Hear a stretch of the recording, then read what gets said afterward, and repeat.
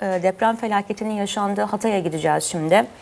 Gülnur Saydam orada. E, dün çıktı yangın. Bir yandan sıcak, bir yandan deprem felaketinin yaraları sarılmaya çalışılıyor. O izler devam ediyor. Bir yandan da büyük yangın. Sadece Hatay'da değil aslında e, bakıldığında bir, yani 3 ilde orman yangınları da devam ediyor. Çanakkale, Hatay ve Mersin yanıyor.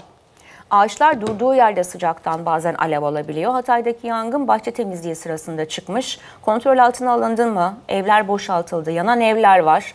Deprem felaketinden sonra bir de yangın acısı yaşıyor Hatay. Ayrıntıları da bize e, Gülnur Saydam aktaracak Hatay'dan dinleyeceğiz. Gülnur.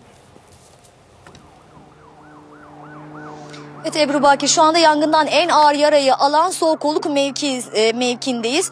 E, 7 ev alevlere teslim oldu. 4 araçla yanarak küle döndü. Bu açıklamayı da e, İçişleri Bakanı Ali Yerlikaya yapmıştı ki biz şu anda olduğumuz nokta Soğukoluk mevkisine bakacak olursak eğer yangın e, dün saat 14 sularında olduğumuz noktanın yaklaşık 4 kilometre hemen aşağısında bulunan e, bölgede meydana geldi ve ardından yaklaşık 45 dakika 1 saatlik içeri, e, saat diliminde de yine olduğumuz noktaya ulaştı. Bakın göreceksiniz şu anda yanarak bu evin park halindeki aracı yanarak küle dönmüş durumda.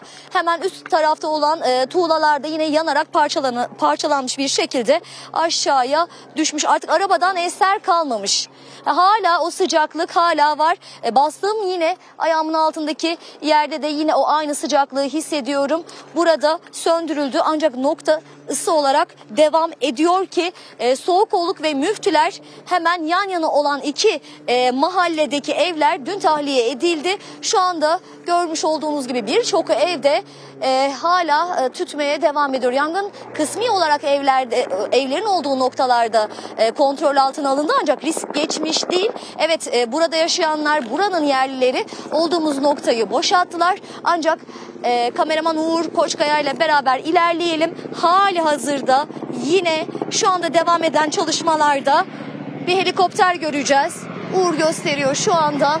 Görmüş olduğunuz gibi yine ara sözler e, aynı zamanda Yangın helikopterleri ve yangın uçakları da sabahın ilk ışıkları itibariyle bölgede çalışmalarına devam etmeye başladı. Arsuz'dan e, İskenderun Körfezi'ndeki Arsuz mevkinden suyu alan e, helikopterler ve uçaklar da bu bölgeye gelerek söndürme çalışmalarına devam ediyorlar. Ancak ne kadar büyük bir alanın yanıp küle döndüğünü şöyle gösterebiliriz. Aslında sadece bir noktayı gösteriyoruz ancak içler acısı yani burası içler acısı çam ormanlarıyla doluydu burası. Çam ağaçları vardı. Ladin ağaçları aslında.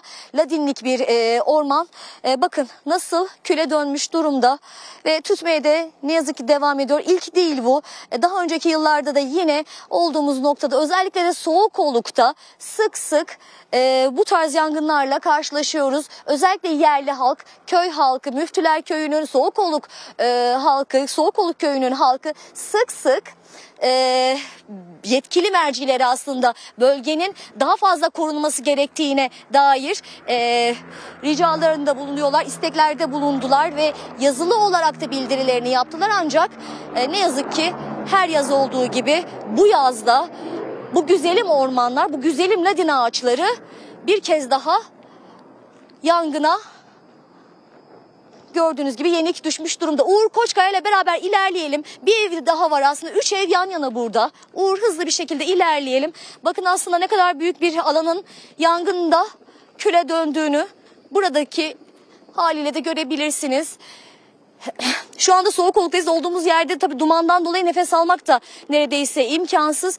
O, e, yangın riski geçmiş değil. Hala çalışmalar havadan ve karadan devam ediyor. Ancak dağlık bir bölge olduğu için de çalışmalar çalışmalarda yine e, son bulmadı ve devam ediyor diyelim. Biz de buradaki gelişmeleri an be an takip edeceğiz ve sizlere aktaracağız e, diyelim. Sözü yeniden stüdyoya bırakalım.